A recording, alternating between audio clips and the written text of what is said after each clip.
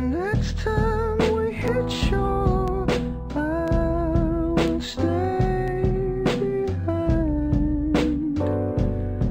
Well, she's washed up on the boards, her salt salty spit, her pore so pure, leaves me choking on the sand. But her waves come she takes my